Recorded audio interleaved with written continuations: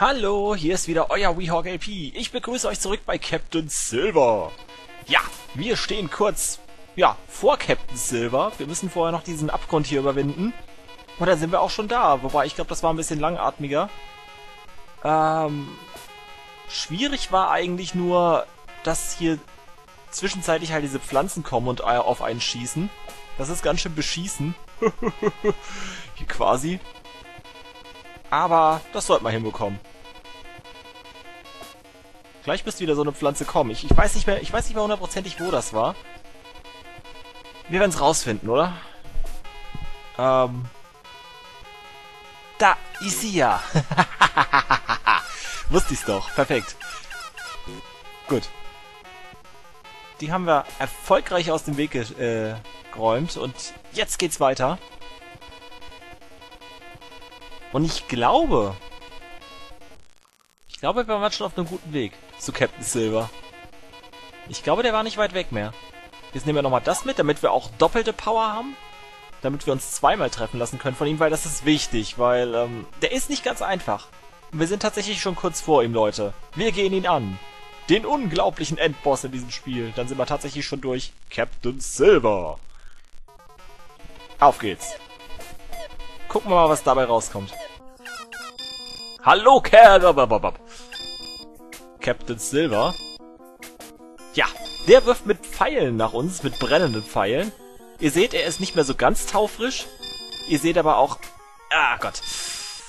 Wenn man so ein bisschen unter ihm herläuft und ihn ein bisschen anstrengt... Bisher habe ich noch nicht mal meine Weste verloren, meine Schutzweste. Das könnte hinhauen. Wow, wir haben's schon. Echt, wir haben's schon? So schnell ging das? Das lag jetzt aber auch bestimmt an der vierfachen Feuerpower. ähm. Okay. Ja. Okay. Nachdem er sich Captain Silvers Schätze geschnappt hat, ja, hat Jim sich ein Schiff mit dem Gold ge geleistet und hat sein Abenteuer auf den sieben Weltmeeren fortgesetzt. Dann hat er diverse Gegner besiegt auf seinen Reisen. Ja, er wurde als Held gefeiert, äh, auf den ganzen Weltmeeren, so nach dem Motto. Ja, und seine Erfahrungen wurden von Generation zu Generation weitergetragen. Ja. Also mit anderen Worten, er hatte ein fröhliches und erfülltes Leben. Er hat ja dem guten alten Captain Silver einfach seinen Schatz geklaut. Normalerweise nennt man so etwas Diebstahl, hier wird man dafür gefeiert. Das ist wunderbar so. Und damit haben wir tatsächlich die US-Version von Captain Silver schon abgeschlossen. Aber Leute, ich habe ihr gesagt, uns erwartet noch was. Ich will es natürlich jetzt äh, so nicht stehen lassen. Nach nur drei Minuten will ich den Part nicht schon beenden. Wir haben noch was vor uns. Wenn ich das gewusst hätte, hätte ich das, äh, ja, hätte ich gleich hier damit weitergemacht. Aber egal, nach einem kurzen Cut geht's mit der europäischen Version weiter. So Leute, da bin ich wieder. Es geht weiter mit Captain Silver. Diesmal in der europäischen Version. Das bedeutet für uns, wir haben jetzt mehr Gegner vor uns, wir haben schwierigere Gegner vor uns. Und es gibt auch den ein oder anderen Boss mehr und zusätzliche Levels. Mit anderen Worten, hier geht's ordentlich ab. So. Wir verlieren auch mal gar keine großen Worte hier. Wir machen einfach mal direkt weiter. Das hier ist noch nicht das große Problem. Die Kätzchen, die kennen wir. Die erste kleine Änderung, die zeige ich euch gleich mal. Hier sind wir schon. Da ist sie schon. Ihr erinnert euch hier noch an diese, an diesen Apfelbaum hier. Sind das Äpfel? Es sind sehr merkwürdige Äpfel, aber wahrscheinlich sind es Äpfel. Ihr erinnert euch, dass der erste zuerst runtergefallen ist, der ganz linke. Also, ja, jetzt wartet mal ab, was jetzt passiert. Jetzt fällt der zuerst runter und danach der und dann der in der Mitte. Wenn ihr vorher das andere musst... Au, scheiße. Ja, ihr seht, ihr seht. Und auch wirklich erst, wenn ihr genau drunter steht. Also es ist Ihr seht in der Tat schon, auch die Gegner verhalten sich jetzt anders. Es ist ein bisschen, ein bisschen schwieriger geworden, bestimmte Bewegungen vorauszusehen. Jetzt anhand äh, auch dieser Äpfel kann man das immer sehr gut zeigen. Das hier ist die schwierige Version. Die Äpfel fallen schon mal ganz anders vom Baum als vorher. Ja, das ist aber noch nicht alles. Wir haben noch mehr Gegner. Hier, hier bei diesem Typen. Der hat jetzt eine dritte Musiknote, die er... Oder waren es vorher auch schon drei? Auf jeden Fall ist es irgendwie eine andere Bahn. Wir mussten mehr in Bewegung bleiben. Das ist jetzt auch noch nicht das große Problem. Die großen Probleme, die erwarten uns noch. Ähm. Jetzt muss ich gleich mal gucken. Kam mir nicht gleich noch irgendwas? Ja, jetzt sind zum einen diese Äpfel wieder hier. Ja, komm schon. Ah, ich bin der... Oh Gott. Ich bin da immer so vorsichtig. Hier ist noch der eine hier. Also hier werde ich definitiv auch Safe States verwenden. Habe ich ja auch schon bei dem einen Apfelbaum jetzt. Weil ähm, das Spiel ist recht schwierig jetzt. Also in der europäischen Version wirklich deutlich schwieriger. Da habe ich es auch wirklich nie ohne Safe States über das zweite Level hinaus geschafft, muss ich zugeben. Das zweite Level ist dann wirklich sehr, sehr heftig. Na schön. Ähm, können wir uns noch nicht leisten. Hätte ich gar nicht probieren brauchen. Hier, die Hexe. Die hatten wir zum Beispiel vorher auch noch nicht. Und sie tötet uns. Ja, so haben das Hexen an. Also weiß ich auch nicht, warum die das macht. Huse! Gut, und der Pfiffi hier ist auch neu. Ähm, mit dem habe ich jetzt gar nicht mehr gerechnet. Eieiei. Okay. Und wieder so ein Baum. Eieiei. Die nerven mich ein bisschen, muss ich sagen, hier in dieser Version. Jetzt fallen sie zu zweit vom Baum. Ist ja nervig. Komm schon runter. Man muss einfach vorsichtig sein. Hier rennt man einfach am besten unter den Katzen durch. Und... Das war knapp. Ich glaube, das war nicht die optimale Lösung, das, das zu machen. Ähm, so, jetzt müsste uns eigentlich schon der Boss erwarten.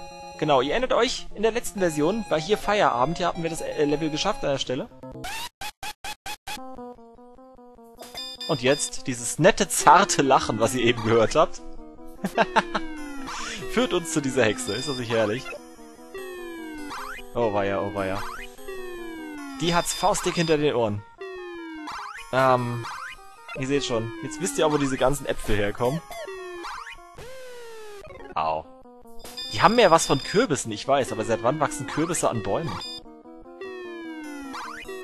Also wäre mir jetzt neu. Egal, wir haben sie besiegt. So. Wunderbar. Damit ist Level 1 auch schon wieder geschafft. Aber der wahre Horror, der steht noch vor uns. Wir gehen auf das Piratenschiff. Äh, Ship, ja, genau. Warship. okay. Ja, die Taube. Äh, die Taube? Nee, nicht wirklich. Die Möwe. Die ist noch nicht das Problem. Wir müssen ein bisschen mehr vor den Piraten aufpassen. Und es gibt auch neue Piraten. Nein, das war knapp. Kommen jetzt auch wirklich von beiden Richtungen. Sehr gut, jetzt haben wir ein bisschen mehr Feuerpower. Die brauchen wir auch ganz dringend, weil ohne wird dieses Spiel höllisch. Wenn ihr wirklich nur auf dieses Schwert angewiesen seid und könnt nicht äh, losschießen, das ist echt übel. Haha, komm her! Komm her, du! Geht doch! So, jetzt nehmen wir uns erstmal wieder die Disco-Power hier. ja, unsere Weste leuchtet schön disco-mäßig. Und ihr seht diesen Typen da oben. Der ist nicht nur doppelt so groß wie wir, nein, er ist auch doppelt so stark wie wir. Den sollten wir besser nicht zu nahe kommen. Auf diesem Schiff da tummeln sich die finstersten Gesellen. Äh, ich wusste doch, hier war einer. Okay, na, da, bei dem müssen wir wohl... Ja, da warten wir wohl... Oh, scheiße, da kommt der auch wieder! Eieieiei. Ah, Mist. Das war jetzt dämlich. So schnell kann's gehen. Ähm, erstmal den hier erledigen. So, warten, bis der hier hochkommt. Jetzt komm schon hoch. Kommst du wohl? Der will nicht. Jetzt will er. Super. Jetzt, wo ich da runter will. Das war knapp. Uiuiui. Okay. Das hätte übel in die Hose gehen können. Aha! Ja. Mit euch habe ich gerechnet. Ja, wir sind noch lange nicht durch. Das Level, was danach kommt, das ist übrigens ziemlich cool. Also, das ist, das ist dann ein neues Level. Die beiden hier, die haben wir jetzt schon gekannt. Aber das, was danach kommt, das ist, das ist wirklich, das ist eigentlich so, so, so mit mein Lieblingslevel. Hat was. Au. Ja, und das war dämlich. Den, den hätte ich sehen müssen. Also, da habe ich jetzt einfach nicht aufgepasst.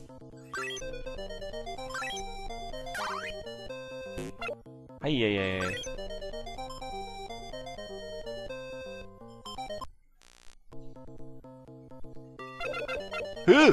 Wo kommt der denn auf einmal her? Ach du meine Güte. Wo kam der denn her? So was habe ich auch noch nicht erlebt. Hm. Klettert der auf einmal das Netz hoch.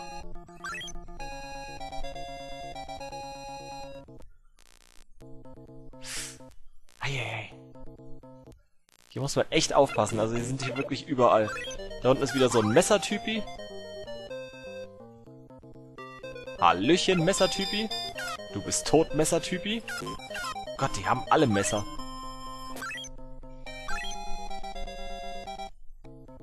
Naja, was soll's. Schnappen wir uns erstmal das Gold hier und machen weiter. Wir haben ja noch ein bisschen... Oh, Fifi, was machst du denn hier? Und noch ein Fifi. Oh, was so? Wo kommen die ganzen Hunde her? Na, nimm das auch... Das nimmt ja gar kein Ende hier. Wie soll ich jetzt... Oh, Mist. Wie soll ich denn jetzt hier durchkommen? Ganz toll. Wirklich toll. Wie soll das denn jetzt gehen? So geht das. Okay, ganz einfach. Entschuldigt. Öffnen wir die Truhe und gucken mal, was drin ist. Wir haben ja einen Schlüssel.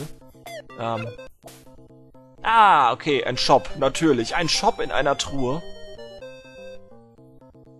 Und wir nehmen uns natürlich das hier, weil Unverwundbarkeit werden wir hier brauchen. Gerade wenn es gegen Captain Silver geht am Ende. Das wird dann natürlich ganz übel.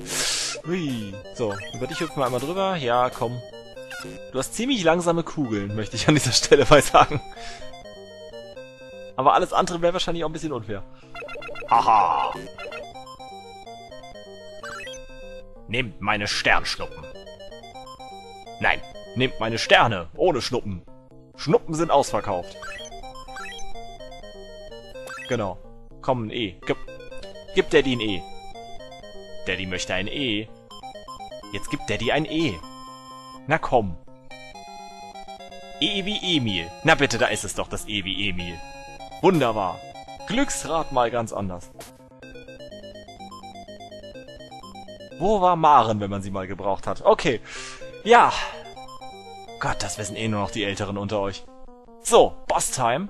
Der ist gleich geblieben. Der hat sich nicht verändert. Ähm, deswegen pack ich euch den Speedrun oben drauf. Jawohl.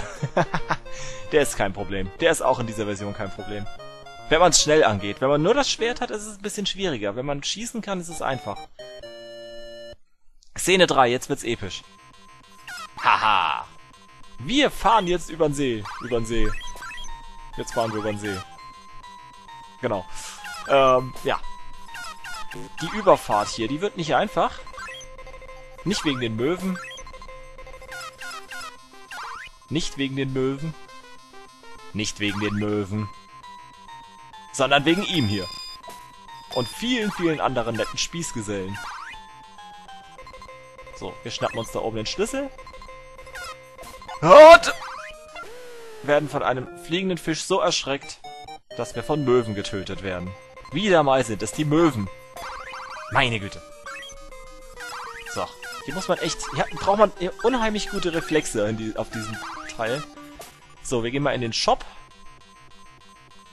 Und wir schnappen uns... Ja, die Feuerpower, die zusätzliche. Haha, denn jetzt haben wir die vierfache.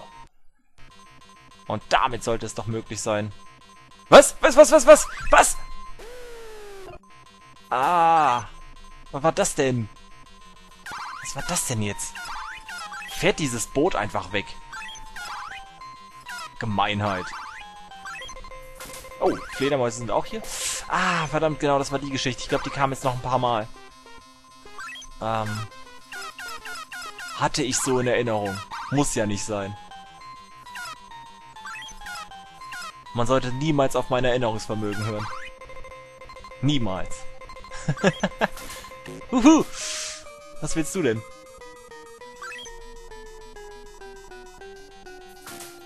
Ach, komm, Batman. Ich wusste doch, dass du wieder Ja, wusst, wusste ich's doch. Hier war die Stelle, wo er dann öfter kam. Irgendwie, irgendwie hatte ich's, ich hatte es im Urin.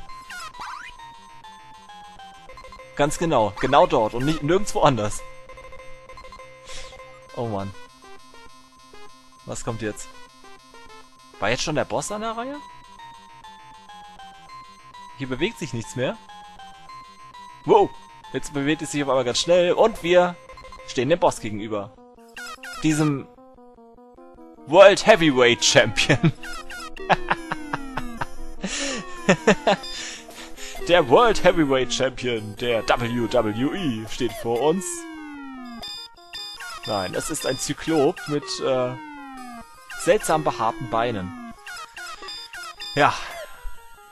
Und er geht mir auf die Nerven. Und ich glaube, wir bekämpfen ihn besser von diesem Boot aus. Bisher halten wir uns gut. Vielleicht schaffe ich es ohne Save States. Ah. Hält aber was aus.